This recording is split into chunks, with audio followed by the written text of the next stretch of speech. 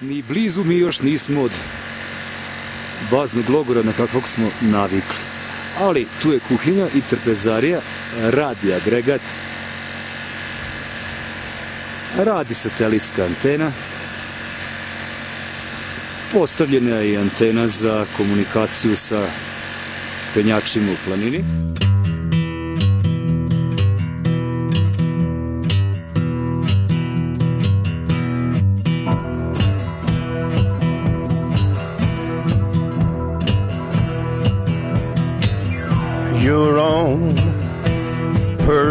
Personal Jesus. Someone to hear your prayers, someone who cares. Your own personal Meni se sad čini kao da smo prilike deca sa sela, tako nekako ispadne to moje detinjstvo. Često sam odlazio kod bake, baka je stanovala u centru Novog Sada i kod rodbine u Đurđevo na selu. Svaki raspust, bar deo raspusta bi provodio u Đurđevu ili bi sa bakom ili majkom odlazio kod naše rodbine tamo preko letnjeg raspusta ponekad i e, kod e, rodbine sa tatine strane. E, Otac mi je iz Brodareva, kraj Prijepolja, selo Potoci, gore, u planini. I, i, i toga se onda sećam, kada sam kao mali jahao konja. E, Došlo bi se do Brodareva nekim autobusom ili vozom, onda bi nas stric sačekao sa konjima i onda smo jahali gore uz planinu. Da. Tako da sam odrastao između te dve, tako meni čudne, različite sredine. To, tako se uvek sećam. Kod, kod tate u rodbini običaj je da se u tanjiru po nešto ostavi kada se jede, jer ako sve pojedeš iz tanjira, znači da si gladan pa ti sipaju još. A kod mame u rodbini, kada bih odlazio, tamo je red da se pojede sve iz tanjira jer je takav red. I ove, između te dve između te dve između ta dva sistema života sam rastao. Jedno, jedno lepo detinstvo. Mislim, odrastao sam u, u, u sredini u kojoj se, eto, mislim, znao sam sve svoje komšije. Otprilike izašao bi iz stana u mom ulazu i ako bi neko zazviždao, znao bi da zovu drugari. Mislim da dobar deo ljudi, stanara u toj zgradi nije zaključavao stanove. Tako je bila neka atmosfera. Mislim da sada ne znam ko bio prvi komšija tamo u Novom Sadu. Tako, vremena se malo menjaju. E, mislim da sam imao jedno lepo detinjstvo, puno drugara, puno prijatelja i da sam odrastao u jednoj opuštenoj, srećnoj za odrastanje prijatnoj atmosferi. U osnovnoj školi sam bio dobar đak. Četiri godine sam bio predsednik odeljenske zajednice. U srednjoj školi e, nisam bio tako dobar kao što sam bio u osnovnoj ili kasnije na, na fakultetu. Na fakultetu sam isto posle bio dobar, mislim. E, u osnovnoj školu se išao Svetozar Marković Toza u, u, u, u Novom Sadu, ne, te lideri? To je to je škola, ja, ja stalno sada pričam kako sada škola izgleda, kako izgledala onda, mislim da smo tada prvi magnetoskop, prvi video rekorder videli u školi. Nisam ga video kući. Sada je situacija takva da često ono što je najnovije i najmodernije prvo, prvo vidimo kući, pa onda godinama posle toga možemo to da vidimo u školi. Ali to je bilo zaista moderna škola. Kasnije sam, m, pošto sam išao u, u srednje, usmereno obrazovanje, išao u Zmajovinu. Išao sam za tehničara, za, za, za geografiju, zapravo. E, išao sam na takmičenje iz geografije kada sam bio osnovac i zavolao sam geografiju i jednostavno onome u čemu sam bio uspešan, nastavio sam svoje školovanje. I tako i na fakultetu bilo, moram da kažem. Neću da se hvalim, bio sam dobar student. Pa ne, mislim da sam birao onako u skladu sa sobom, u skladu sa svojim nekim interesovanjima i sklonostima i mislim da, da je geografija interesantna nauka i zanimljiva. Sad, to su bila druga vremena. Ja sam jednostavno tada dobro, kada sam završio studije, nisam mogao odmah da nađem posao u Novom Sadu, otac mi umro i nisam mogao dugo da čekam, pa i čekao sam devet meseci, nisam našao posao, onda sam jednostavno konkurisao u Subotici, u Subotici, pa samo iz moje generacije sa studija, ne znam, petro, šestoro, sedmoro nas se zaposlilo ovde u, u Subotici iz moje grupe. U, roku od godinu dana. Jednostavno bilo je mesta, bilo je posla, mogo je da se nađe posao. Možda nije mogao lako da se nađe u Novom Sadu, ali tamo gde se konkurisao van Novog Sada mogao se naći posao. Sada je situacija drugačija, mislim, ne vredi da, da, da sad to poredim pa da kažem mlađim generacijama, e pa studirajte geografiju, juriš, dobro je. Ne, mislim da više nije. Drugi su uslovi i ali tada je bilo tako. Ne, ne, ne bih se, ne znam da li bi promenio, možda bi me život odveo negde drugde, ali ne mislim da sam pogrešio.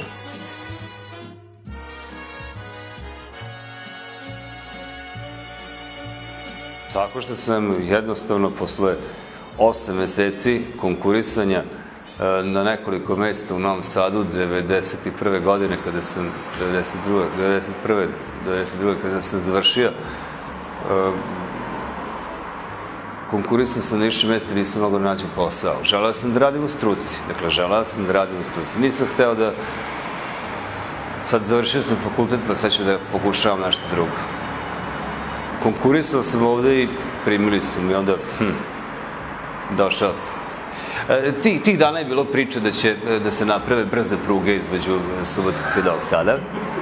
I onda svi onako daju da pomislio, pa dobro, napravit će brzo pa šta je to sad problem, pa 100 km, pa 100 km nešto, pa 100 km nije ništa, pa u svetu je sasvim normalno da čovjek putuje 100 km od mesta stanovanja do, do mesta rada i nazad. Nije neobično. Kod nas jeste.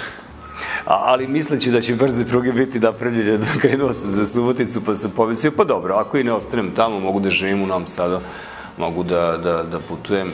Pa ja sam i sada veoma često u Novom Sadu, tamo mi je majka, tamo mi je sestra, tamo imam puno prijatelja i vikendom često odlazim tamo da se sretnem sa onima koji su mi bliski. E, tako, jednostavno, konkurisao sam, primili su me, došao sam ovde, e, dopalo mi se. U redu je, Subotica je jedan pristojan e, grad i, i tada, 90. krajem 91. godine, Subotica nije bila bitno drugačija od Novog Sada. Mislim, Novi Sad imao dva pozorišta, Subotica jedna. Subotica je imala 100.000 stanovnika, Novi Sad 179.000 stanovnika po popisu. Sve u svemu nije bilo velik razlike. Umeđu vremenu, jeste, sad je Novi Sad bitno porastao, Subotica je ostala gde jeste, čak se i smanjila, na primjer, po broju stanovnika, možda i po privrednoj aktivnosti, sad sve jedno, ali tada je to bilo jednostavno tako i grad me prihvatio, sredina me prihvatila, ja malo po malo eh, ovde imam porodicu i eh, ovde sam se skućio i Subotica je postala moj grad.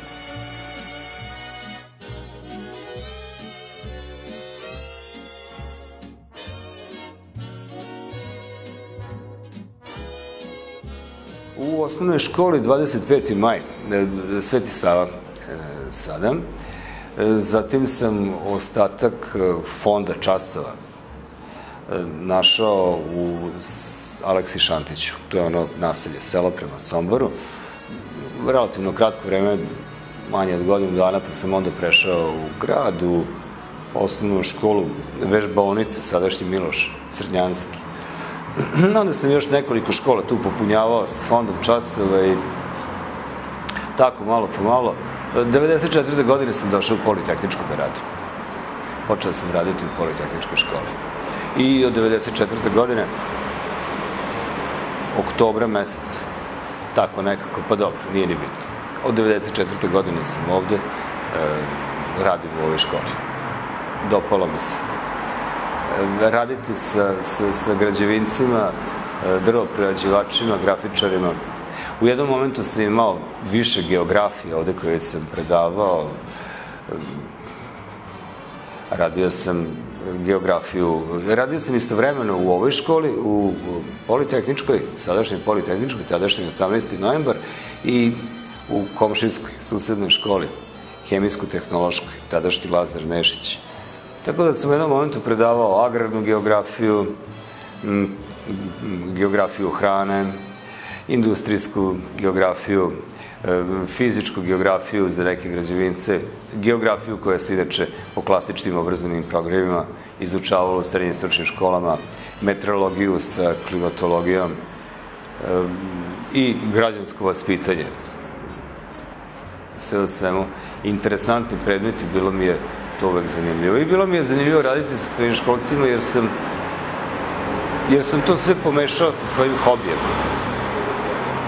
sa planinarenjem. Imao sam sekcije, te van nastavne aktivnosti. Meni se čini da je to meni ovaj posao učinilo zanimljivim i da zbog tih van nastavnih aktivnosti, zbog te sekcije, zbog tog svog hobija, imao sam dobar kontakt uvek sa ćacima i ovaj posao mi nije bio težak. Ne, ne da mi nije bio težak, bio mi je zanimljiv. Vodio sam, recimo, takmičenja, postizali su oni tamo lepe rezultate. Dosta smo zajedno putovali, pešačili, šetali. Meni se čini da je geografija interesantan predmet. Geografija, sve, sve geografija postoji. Medicinska geografija postoji, geografija. Geografski prostor je sve je geografski prostor. Možda je geografski prostor i glava, glava eksera zakucana u zid geografskog fakulteta. Tako da prostor jednostavno može da se izučava sa različitih aspekata i u tom smislu reči geografija e, mi je i otvorila neke vidike i, i geografija čini mlade ljude e, opuštenijim u prostoru u kojem žive jer kada prostor poznaš, kada ga razumeš, u njemu se osjećaš sigurnije, bolje, prijatnije. U tom smislu mislim da je geografija za vaspitanje dece veoma važna. Nažalost, geografija činjenice neću previše da hvalim i da grdim obrazovni sistem naše zemlje, mislim da su obrazovni sistemi i u drugim sredinama slični našim ali geografija se često svodi na popisivanje broja ovaca u Australiji ili na, na, naravno geografija nije to. Geografija je razumevanje složenih odnosa, pojmova, događaja, razumevanje prostora i sredine u kojoj živimo. No mnogo je jednostavnije pobrojati ovce i završiti čas.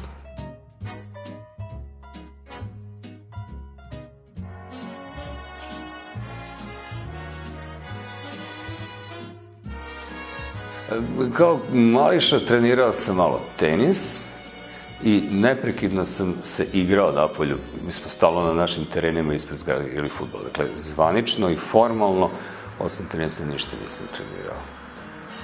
Ne, nisam se, nisam se na takav način organizovano, sistematski bavio sportom. Pa ja sam se planinarenjem počeo baviti ne zbog sporta, ja sam se planinarenjem počeo baviti kao geograf, jer sam hteo da sve doživim na neki drugi način. Mislim, te konfekcijske ture m, e, u organizaciji turističkih agencija me, ne, jednostavno me nisu preterano ispunjavale. Ne kažem da ne volim da odem na neko lepo putovanje, ali jednostavno sam poželeo i želeo da e, vidim neke, nek, na neki drugi način svet oko sebe. I mislim da, da je za geografa jednog to veoma bitno. I kao student geografije sam počeo da se bavim planinarenjem tako.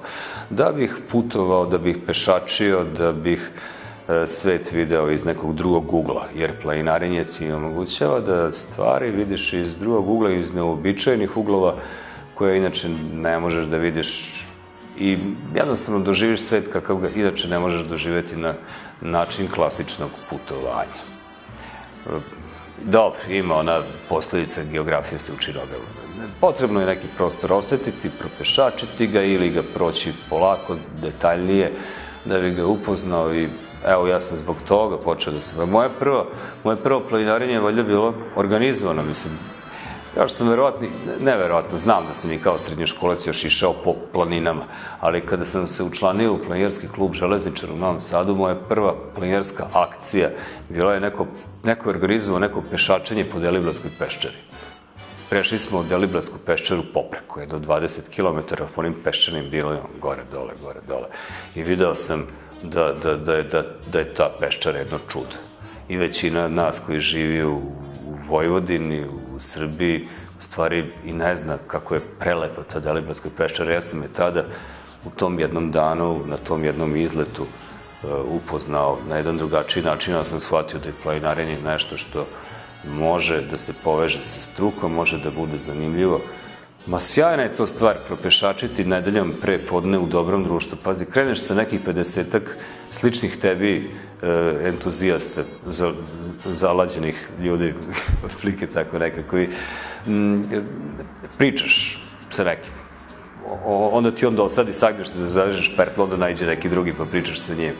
Sve svemu, uh, rekreiraš se. Znači, prepešačeš 10, 20, 30 km, 5, 6, 7, 8 sati ili nemam pojma koliko, pa pešačiš. Pa to je dobro, pa to je zdravo. Prvo je zdravo.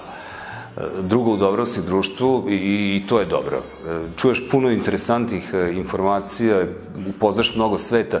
Kroz nekoliko godina planinarenja ja sam upoznao jako mnogo ljudi širom Balkanskog poluostrava. Danas ovako nakon svih tih planinarenja po belom svetu imam prijatelje, ne znam, u Koreji, Japanu, eh, Irskoj, Sjedinim američkim državama, Peru, eh, Argentini, mislim, na mnogim stranama sveta imam prijatelje. To je jednostavno dobro. A onda puno toga i naučiš. Jer onda je došlo vreme da, da se džacima eh, počnem planinariti, kada sam se u školi zaposlio izaći na Frušku goru sa đacima, to je, Fruška gora je najveći kabinet prirodni u okruženju.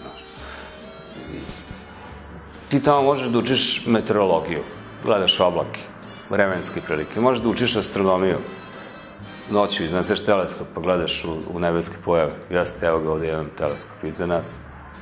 Možeš da učiš pedologiju, geologiju, botaniku, Možeš da učiš geografiju, gledaš elemente, geomorfološki.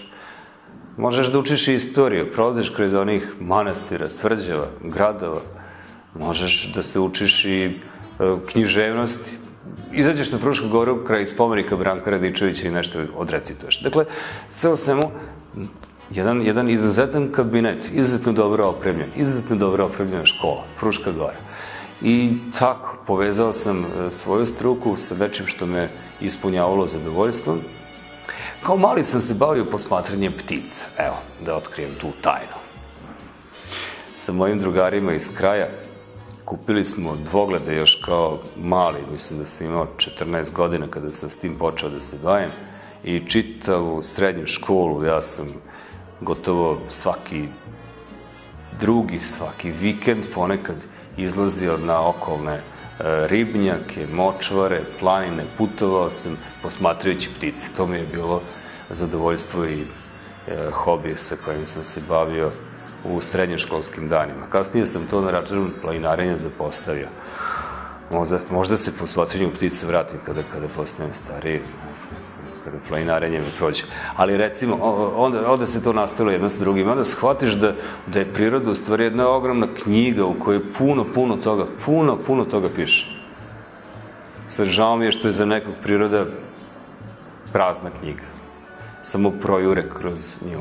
Ali meni je planinsko područje e, vrlo zanimljivo štivo. I uživam u tome. Volim da čitam knjige, ali evo volim da planinarim i volim kada negdje idem na planinarenje da se prethodno pripremim, da vidim gde sam to krenuo, gde sam otišao i po povratku da Mislim, mislim da to planinarenje obogati čovjeka u svakom mogućem pogledu.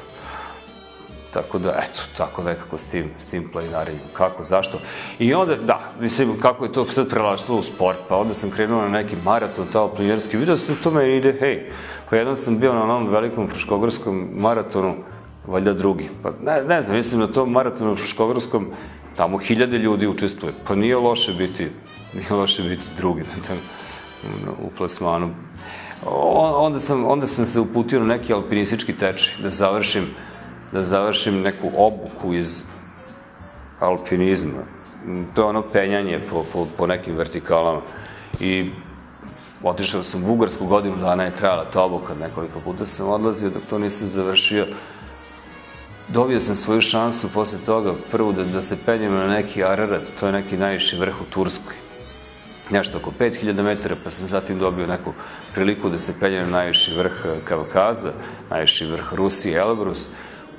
Išlo je jedno za drugim, bio sam relativno uspešan. Jednostavno vučete, krene, ide. I onda posle toga na Konkagu, najviše vrh Južne Amerike, Amerike, onda su me pozvali u tu ekspediciju na Himalaje, pa sam se popao na neki vrh od 8000 metara, Šiša Pangu na Tibetu i onda sledeći vrh je bio Mount Everest. Popeo sam se na Mount Everest, posle Mount Everesta smo penjali šta smo htjeli, jednostavno, posle stekneš neku i reputaciju i i onda smo penjali u jednoj ekspediciji dva vrha od 8000 metara, onda onda sam um, penjao i bez dodatnog kiselnika vrhove od 8000 metara. Onda smo probali da popnemo i K2. Jednostavno, to je, to je tako bilo. A sada, ovih poslednjih nekoliko godina, poslednjih 4-5 ekspedicije penjamo vrhove koji su zaista interesantni. Ja znam da, evo, ove godine smo penjali Alpa Majo, da, da, da malo ljudi je čulo za Alpa Majo i sad kažem penjam se Alpa Majo, dobro, penjam se, a kako je bilo na Everestu? Otprilike tako, a meni na Alpa Majo je mnogo lepše nego na Mislim, Alpa Majo je vrh koji je poslednjih 500 metara je, je vertikala u ledu, nagiva 70 do 90 stepeni. To je jedan izazov, to je jedno penje koje, koje je neverovatno, koje će sigurno pamtiti. I, i, i evo, kako da kažem, i sada i ovih godina posljednjih smo penjali neke zaista, zaista zanimljive vrhove, e, vrlo interesantne. Pa sad verovatno je već negde vreme i da prestane, mislim da, da sledeće godine već neću ne ići na ekspediciju, mislim da od 2000. godine, 1999. godine, svake godine sam na nekoj ekspediciji. Već možda je vreme da, da, da napravim godinu dve pauze, ne da prestiraš da napravim pauzu. I tako. Jedno za drugo je vuklo. Nisam, dakle, nisam u planinarenje ušao sa nekom idejom da, da, da budem sportista, da, da tu nešto, neke sportske rezultate jurim. Sasvim drugih pobuda. Život te, život te odvuče. Kako da kažem? Jednostavno. Tako je, mislim da je to tako uglavnom u životu kod većine ljudi. I kod mene je tako bilo.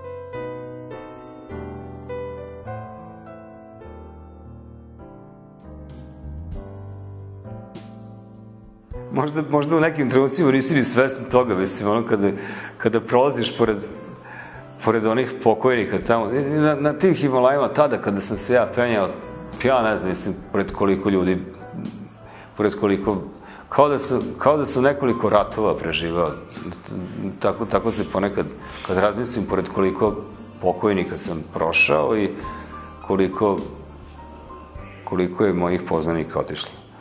Ove, Da, bilo je situacija kada, kada je bilo i, i opasno i smrtno opasno, ali znaš, jed, jed, u tim momentima, u tim momentima ti o tome. Kada posle legneš uveče da razmisliš ili kada sedneš pet minuta posle toga, kada shvatiš šta si preživao, u tom momentu razmišljaš samo kako živ da ostaneš.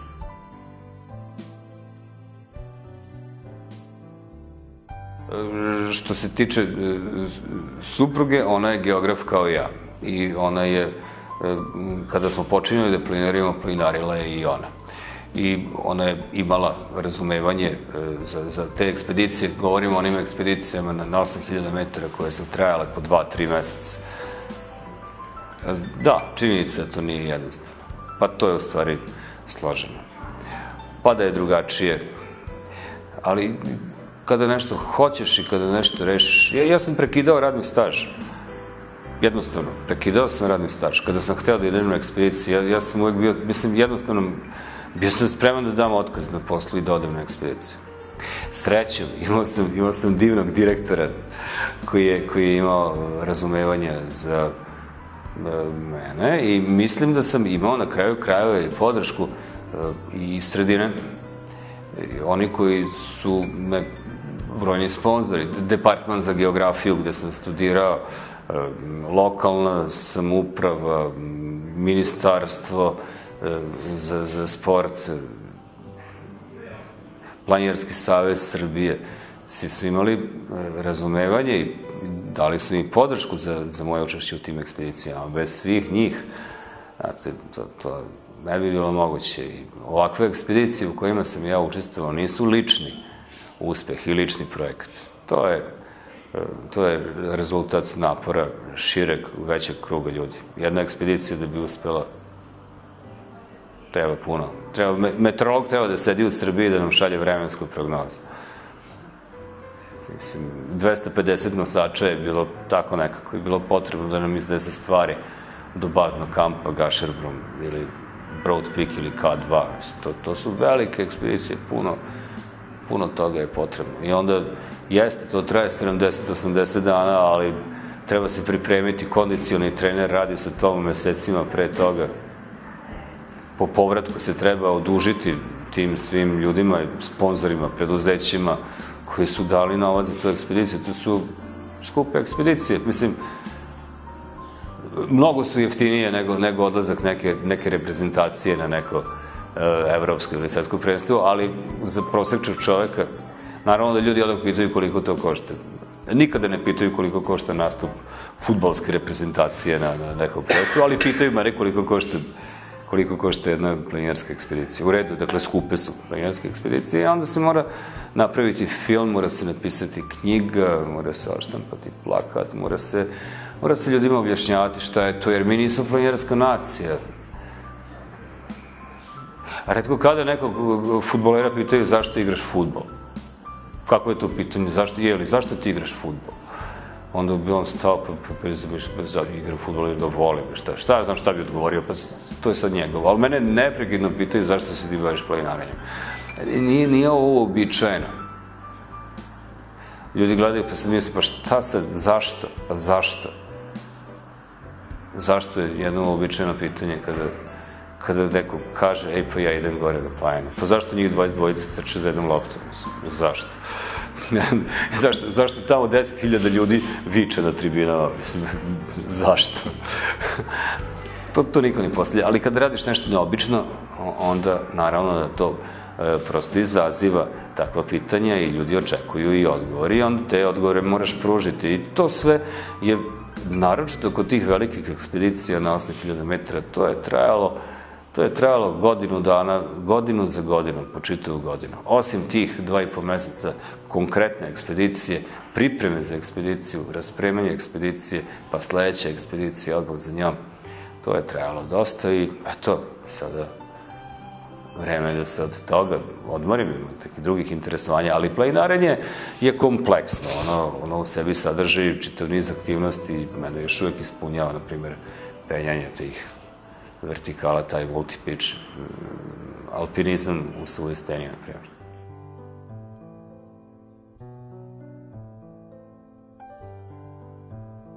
Pa ja mislim da sam, da sam završio sa ekspedicijama. Mislim, u svakom slučaju napravit ću pauzu, pa ću onda razmisliti. Ajde, neću da kažem. Mislim, verovatno ću odlaziti na, na planinarenje kao što je Mont Blanc, kao što je tako neki vrhovi na Alpima. To, to, nije, kako, to nije zahtevno, to nije teško. Kilimanjara, mogu otići na Kilimanjara, na primjer, možda jednog dana. To su neke planine koje uzmeš ranac na leđe pa se prošetaš, pa nije lako. Nije lako popeti se na Mont Blanc, nije lako popeti se na Kilimanjara, ali recimo takve neke ekspedicije. Dakle, na, na one ekspedicije koje traju više meseci, koje zahtevaju jako mnogo pripreme, jako mnogo para, nema smisla. Nema smisla. Ne, ne zbog toga što ja to ne mogu više ili što se ja ne mogu pripremiti za to, nego nema smisla zbog toga što ja nemam taj novac, ja, ni, ja sam prosvetni radnik, živim od plate, A onaj ko ulaže e, u, u te ekspedicije treba da ulaže u mlade ljude koji dolaze i koji oni treba da se penju na te vrhove, jer realno su od mene sada brži, realno su jači, imaju više motiva, oni imaju motiva, žele to mnogo više nego, nego ja.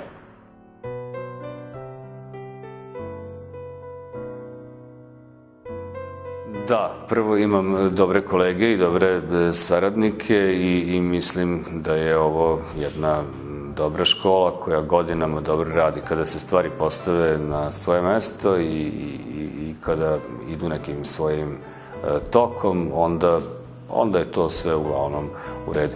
E, činjenica je da kada radim, da sam na poslu od Pa ne znam, često dođem na posao u 7 sati, 7 i 15 ujutro i ostajem ovde do, eto, do pola 8, kada sam tu.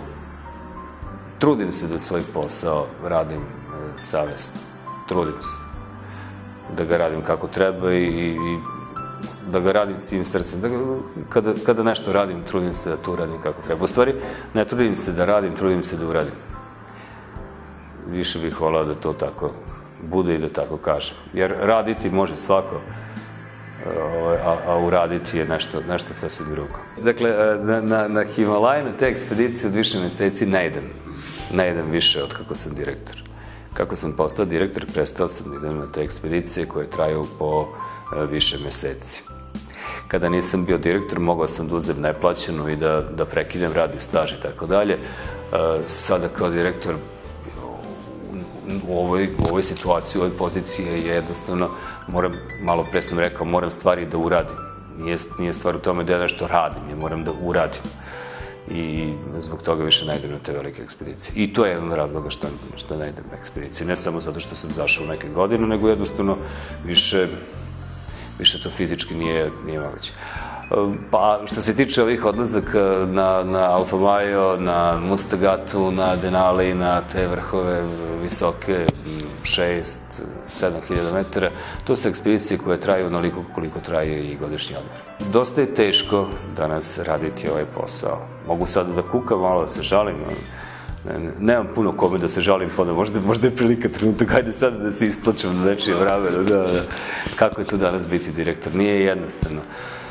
Principi, principi savremenog obrazovanja su se nekako izmenili u odnosu i na ono vreme u, kojoj, u kojem sam ja vaspitao. Jednostavno, svet u kojem živimo je toliko dinamičan, tako se sve brzo menja, da moraš biti skoncentrisan i pratiti šta se dešava oko tebe, inače, inače počinješ da se gubiš i da, i da budeš uh, po, po shvatanjima zastareo princip obrazovanja, kada sam ja bio đak, se zasnivao na osjećaju pravičnosti nastavnika. Mislim, taj nastavnik e, i njegov osjećaj pravičnosti u skladu sa, naravno, propisima koje su važili, nastavnik je određivao šta jeste, šta nije. Kada je nastavnik rekao da si ti loš, ti bi dobio ukor, pa bi ti bilo žao i još bi bio grđen i od roditelja zbog toga što te je nastavnik ukorio savremeno obrazovanje se ne zasniva na osjećaju pravičnosti nastavnika, nego se zasniva na pravu. Postoje propisi i, i, i đaci imaju svoja prava, imaju i svoje obaveze, ali kao da je akcenat, kao da je akcenat na pravima, obaveze se zanemaraju. Vaspitni moment je u posljednje vreme sve izraženija važnost vaspitnog, vaspitne uloge e, škole.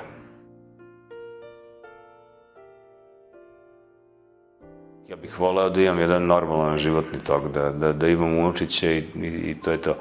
E, što se tiče planinarenja, bavit ću se verovatno tom aktivnošću dok sam živ, jer je to zanimljivo, to je jednostavno tako da je, prosto je koncipirano da traje ceo život dok si mlad može da se penjaš po veštačkim stenama i da se baviš tom gimnastikom i da ideš na e, ta takmičenja ili na orijentacijono trčanje i tako dalje.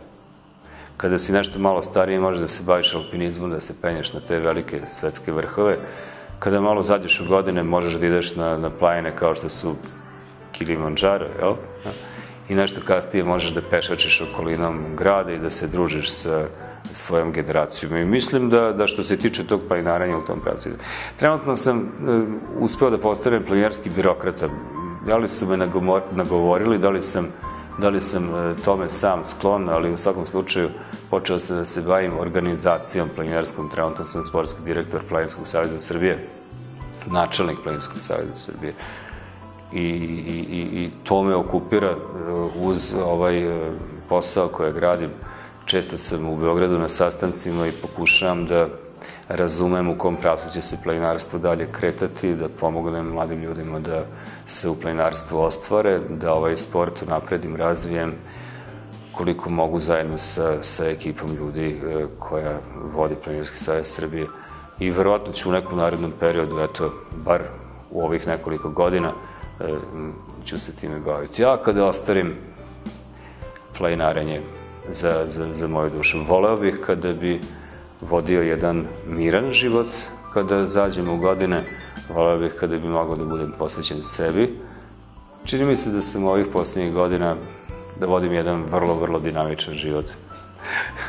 Često sam na putu Novi Sad, Beograd, Subotica, puno, puno radim, puno radim za neku opštu stvar, puno radim za druge. Voleo bih kada bi mi život i vreme dozvolili da se, kada omatorim, posvetim sebe. Evo, to nekako. Voleo bih da imam tamo neki možda voćnjak je negde u Peščari ili neku kućicu na obali Dunava, možda neku kućicu na Durmitoru, tako nekako. To bi, to bi već nešto bilo dobro za pod stare dane. Ne znam. U stvari, u stvari ja o tome puno i ne razmišljam. Jednostavno, živim život u ovom trenutku.